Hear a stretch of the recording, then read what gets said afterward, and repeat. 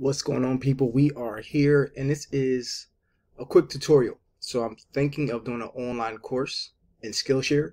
So leave a comment below. Let me know if you want some simple courses. Beginner course in Blender. So we open up Blender, click General. And this is what you start with. This is the general starting point. what do you have? You have a camera. Let's go over to the right. You have a camera. You see it highlighted, a cube highlighted, and a light. So you see when you click on something, it's highlighted. Now, right this camera button right here, click it. Now you're in camera mode. So we, we've already learned when we click, when we click an object, it's highlighted. You can click camera mode to swing into camera mode. Now, I strongly advise all beginners to click push in and pops this toolbar out. So that's in. Push in, go to view, and click lock to camera. Now if we go here and scroll now, it didn't work. Let's click camera mode.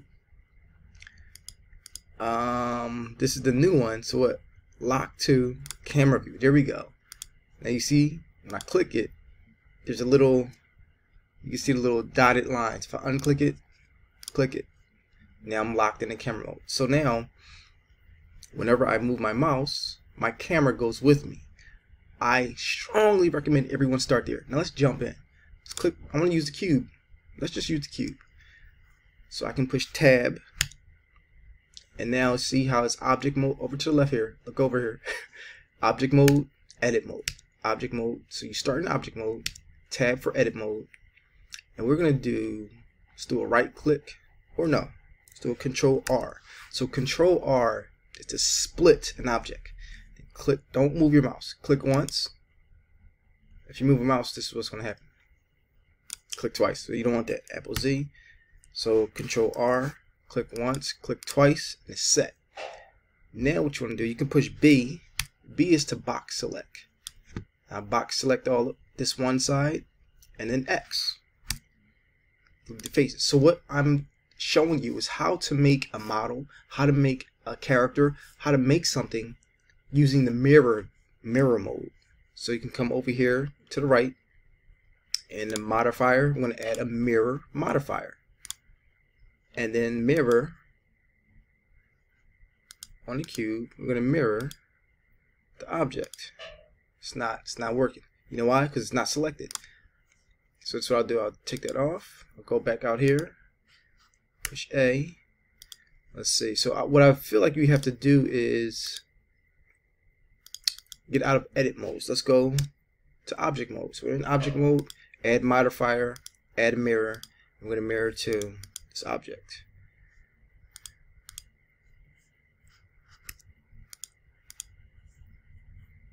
So mirror.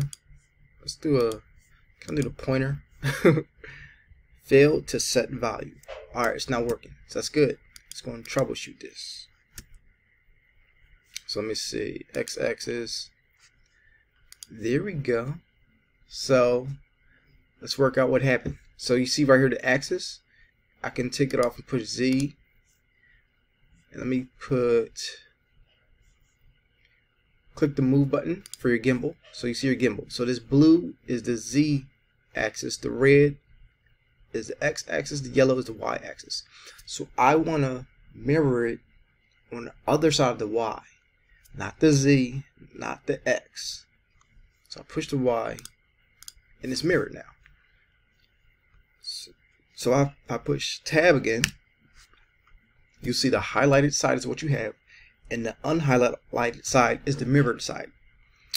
Cool. So now let's build. So you can click on the face. Up here top it says face select. Click on the face and push E. See that? You can move your faces. You can go over and click clipping or non-clipping. So clipping is prevent vertices from going through the mirror during transform. It keeps everything from clipping. Alright, so say if, but now if I push S, it's going to clip. Well, you see how it sticks together? So S is for scale. So S to go down. Now, say if I unclick clipping, and then I do E and S, now they go apart. You see? You see that? So clipping keeps them together. If you unclip clipping, go apart. So look at that. Just made something.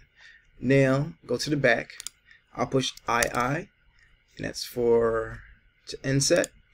Now if you want to have multiple faces, go up here and click individual origins. So this is what we can do. We can right click and subdivide. Come down here to subdivide and scroll up. to. Now what I can do is II and that's not working. So II. So there we go. So now I made like little windows and if I push E they'll all come out. Now say if I take off let's just go to median point E still did it. Cool. So let's keep it on individual origins. Now I can go E and go back to inset it. See? So this this is I'm making I love sci-fi. So I do this for different things. Now if we go to down here to materials. So there's already a material. I'm gonna do plus. I'm gonna add another material for what I have highlighted. So always do plus when you add another material. And I'm just gonna do like a, an emission. I can turn the strength up and let's see how let's go. Up here to the right top right. This is how it looks. Now push assign and got some lights. A little trick here you can go to render properties add bloom add screen space screen space reflections and you want to turn on refraction and that's cool so if that's too bright for you just go to bloom and take it down Take down the radius and the intensity. And there you go. That's like a little rocket, you know, a little rocket blaster. I can go to the world and make it black if I want. Now say if I want to change the color of this, I will tab just to kind of go back to the mode and you go back to your materials and click on the top material. I can change the color. See that? It's like a blue little blaster or we can do pink hot pink or we can do gold little gold blaster and we can even make it let me see shift A is how you add things so say if I want to go over here shift A I'm going to add a light a camera just do shift A I can add a sun take up the sun I can go here again increase or decrease the radius. I can go shift A again and add whatever I like. So if I want to do area light, it'll pop up there. I can move it up. But that's a scale, and this is to move it up. And I can put the power up. Make it really bright. So there's some simple techniques I'm starting with. Uh, I can do, as you can see, I'm moving fast, but there's a lot to learn.